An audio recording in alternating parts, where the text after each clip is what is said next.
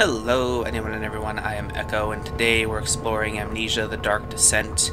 Please stop with the shaky vision, Daniel. Thank you.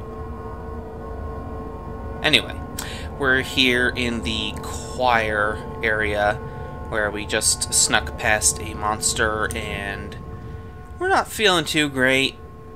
We're not feeling great at all. Then we ended up getting hit by a jump scare. The Iron Maiden opened up, showed us the blood. We walked into the room, we were like, what's that smell? Oh, it was the blood. Um, so, you know, all in all, not having a great time of it. But, uh, we are at least in a new room. Where we can hopefully find stuff that we need to complete uh, our little uh, puzzle quest adventure. Vey. Somebody didn't have a fun time in there, I'll tell ya. Bones. Bones are nice. Bones are... Bones are part of a balanced breakfast? No, I don't think so. Hey, look at that! It's a glowing red thing. I wonder what it is. Piece of orb.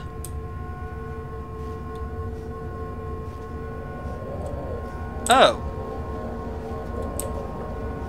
Oh.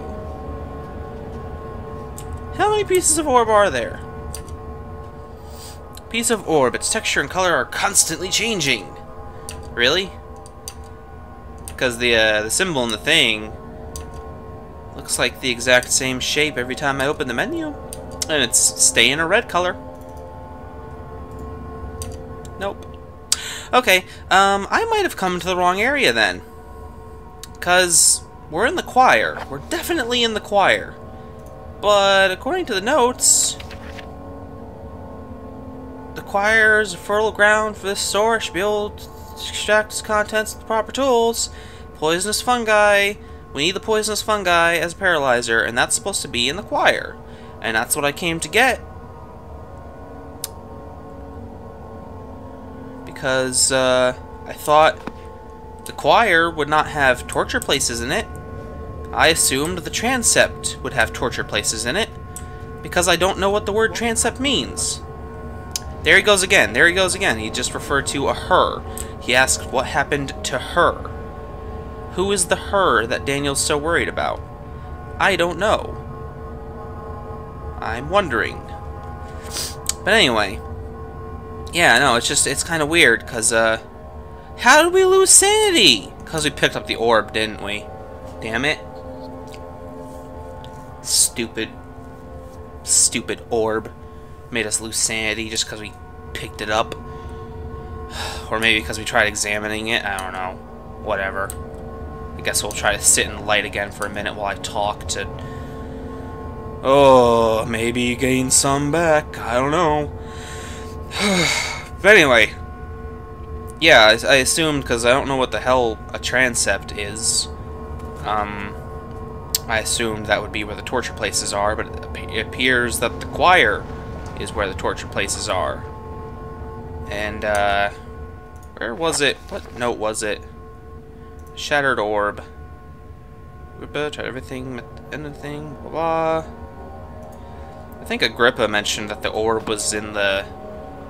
Pieces of the orb would be in the torture chambers or something like that. That's why I came over here first, because I wanted to save the torture chambers for last, because I want to get Agrippa's tonic first. Sounds reasonable, don't it? Is this... Is this darkness enough to make us lose sanity or not?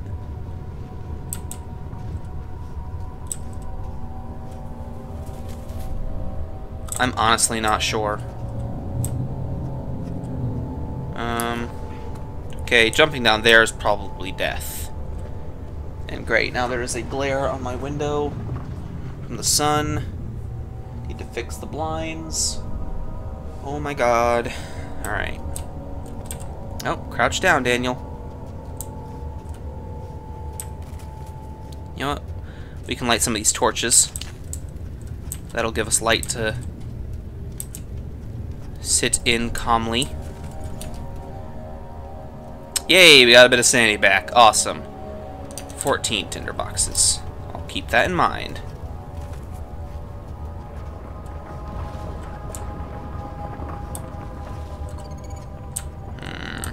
I don't know if the monster's still out here, or if it might have despawned.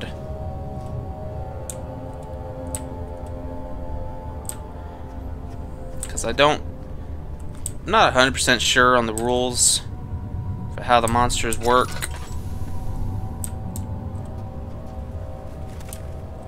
Seems like they tend to spawn into an area, look around you, look around for you for a bit, and then despawn.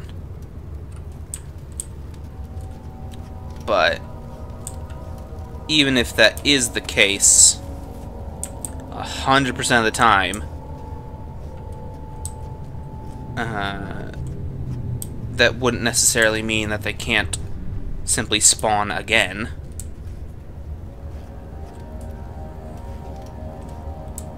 And there is a terrible glare on my screen. I tried, I just tried moving the shades, but it doesn't seem to have worked. There's still a glare on my screen, and it's making it very unpleasantly difficult to see anything.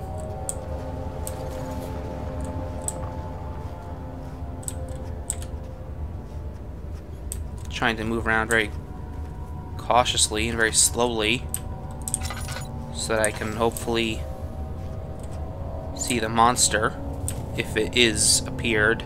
Because let let uh, crap, I, I don't even remember if I managed to finish the freaking sentence that I was trying to say, which is simply that uh, even if the monster despawns, I don't know if it can respawn.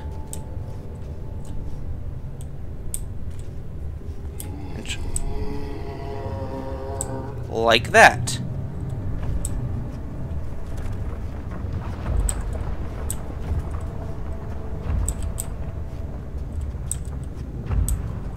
I think it's moving around to different areas.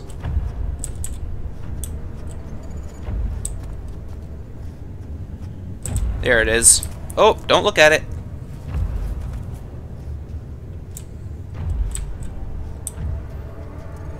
Least don't look at it. Oh, geez. Even from this far away, looking at it messes us up. But I need to know where it is. Insanity's still good.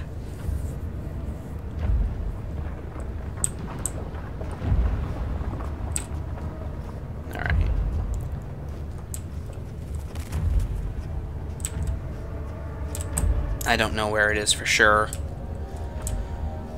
Not knowing where it is is the worst thing of all.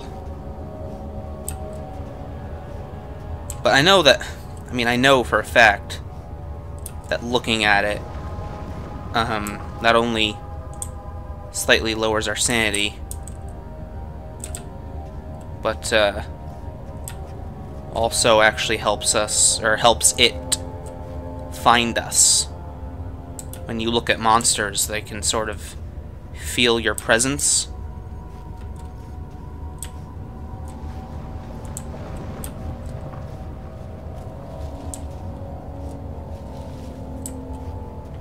So if it so if we look at it, it would probably come right for us.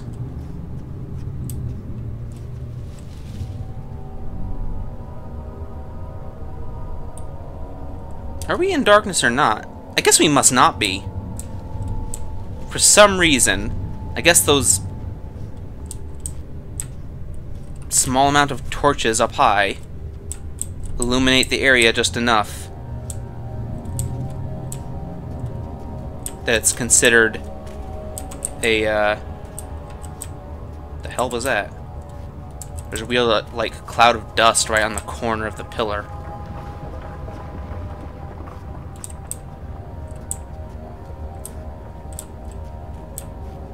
Anyway, um...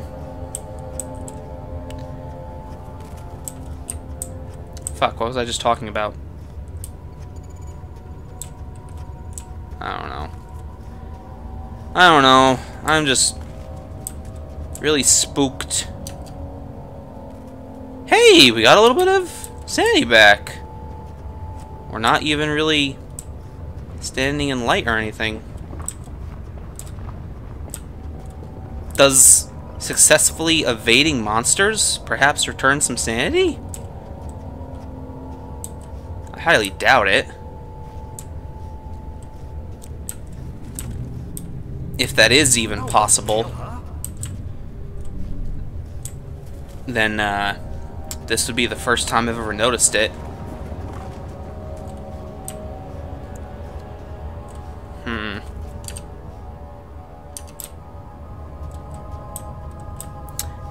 I don't... I feel like, uh...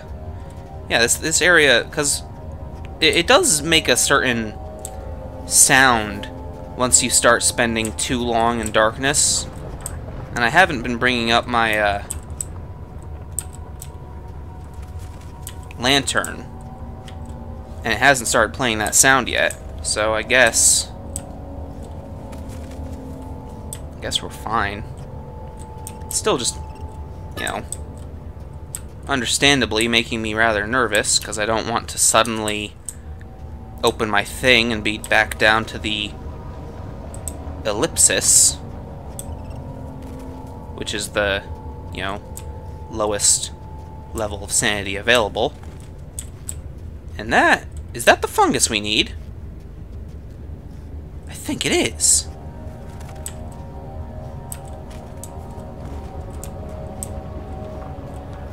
Yeah. Alright, we'll grab that in a second.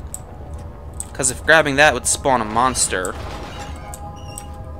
Again! Then I don't want to do that just yet. And this is probably another torture chamber? I mean, I could be wrong, but I feel like that's the general layout of this area. Maybe if I don't look at it, it won't do the jump scare. Oh, okay, I guess this just isn't a jump scare. Alright, never mind. Hey, piece of orb! Hmm. Well, there's the fungus. There's a fucked up thing. There's a piece of orb. So we got a lot of stuff all in one place. Let's uh, grab the fungus first, I guess. The tissue is quite soft and should be possible to break up to break open. Colony of poisonous fungi. Yeah, I'm trying to break it open. Do I need a... Oh wait, do I have to put it in the glass jar or something? Can I use this item this way? Oh, cool.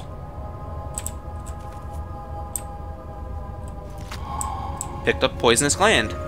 Or poison gland. Alright, cool. So we did get the fungus from in here. It's not just torture chambers. It's torture chambers and poisonous fungi. Uh-oh. Okay, the trader did not know what to think of the brass bull as he was forced to enter it. I know what the brass bull is all about. I've heard of this before. They used to do this in ancient Rome. I'm pretty sure. Maybe maybe it wasn't ancient Rome, but I've, I've heard about this type of torture before. Anyway, only when the heat of fire began to scorch his skin and cook his flesh did he realize it was to be his tomb. His screams of pain echoed inside the brass chamber and traveled through the complex instrument, which was the bull's head. Outside, the men could hear the brazen bull below. Yeah. Basically, you open this up this latch, latch here, you put somebody inside, you light a fi fire under it. The whole thing's made of metal, so it heats up, and it burns them alive. And doesn't even kill them quickly, because, like, if you were to light someone on fire, that would burn them alive, but it would kill them relatively quickly, because, of course, you know, like, their skin and everything would melt away, and they would be taking plenty of bodily damage throughout the event. And, uh, you know, they'd be finished off within know, a few minutes or whatever. I'm not I'm not sure how long it would take. I've never burned anyone alive, and I've never been burned alive, so I don't know exactly how long it would take, but it would be not super long. They just they they'd burn and eventually die because they would take so much damage. Their body would be destroyed physically by the fire eating away at them. But in this case, you don't really get that effect because you're not directly being lit on fire. You're just being heated up a lot. So it's just super painful. And I'm honestly not sure what happens to people in this situation. I don't know if they start, like, melting or what. I don't know what happens to them. I just know it's incredibly painful and it would take a very long time. And I would never in my wildest dreams or nightmares wish that kind of punishment on even my worst of enemies. Oh, jeez. Oh, man. I just realized we can actually light this on fire would it actually do? I mean, there couldn't actually be somebody in there, right? If there was, surely they'd already be dead, or they'd, uh, you know, they'd be banging on the wall to be let out. But maybe we need to do this to complete a puzzle.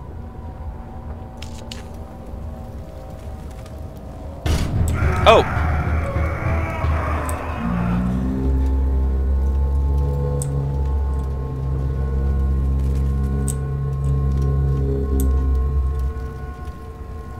It made a sort of moo-like sound. God damn it, we lost sanity for that. I shouldn't have done it.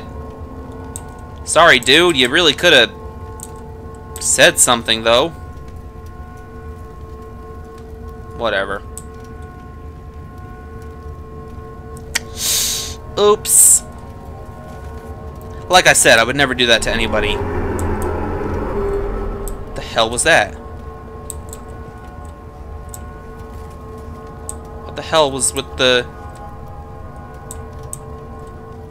red glow?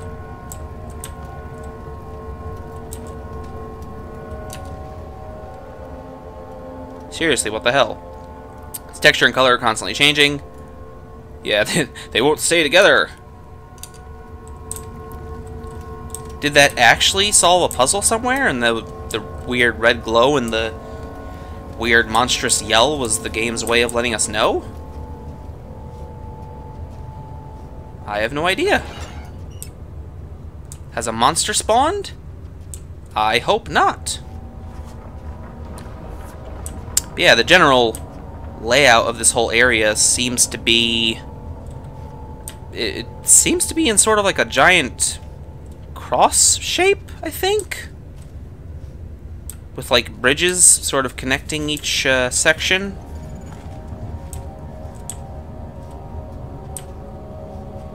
And, uh...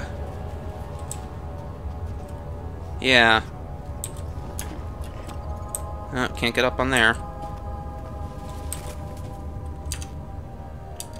Uh, insanity's alright. I mean, it's not. It's not. It's the second to lowest that it can be.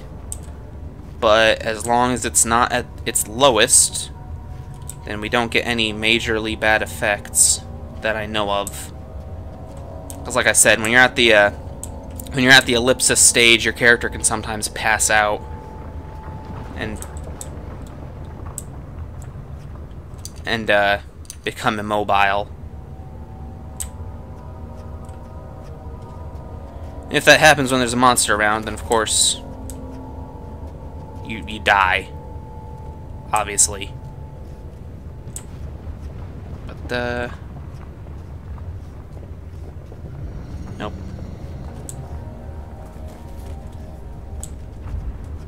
We do not appear to have to worry about that.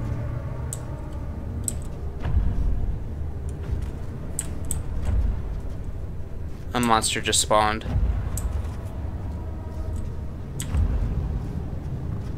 I'm sure of it. Oh, there it is. despawn behind us, the bastard.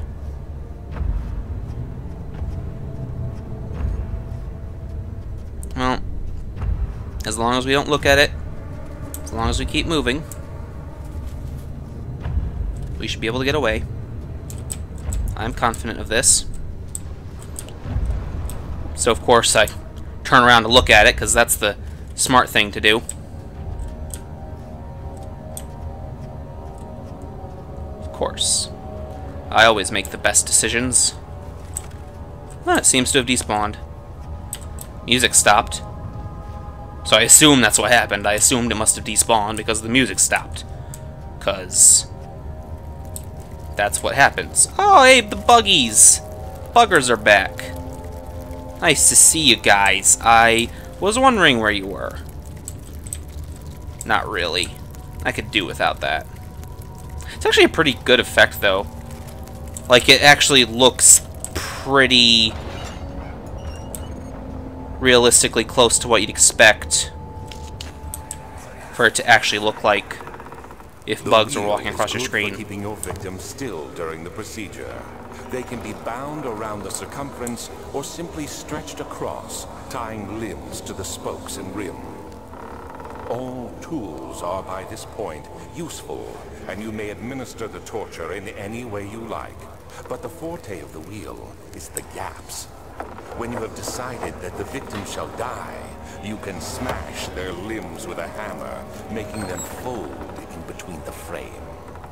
But they'll die. Too quickly, I mean. No, don't worry. The human body is much more resilient. They can survive for days until they finally succumb. Oh boy! Great. So, uh... I guess we'll be seeing the wheel, where people have super nasty stuff happen to them, uh, when we come back for the next episode, because I'm all out of time for this one now, and I will see you all later. I hope you've enjoyed this. Oh, bye-bye.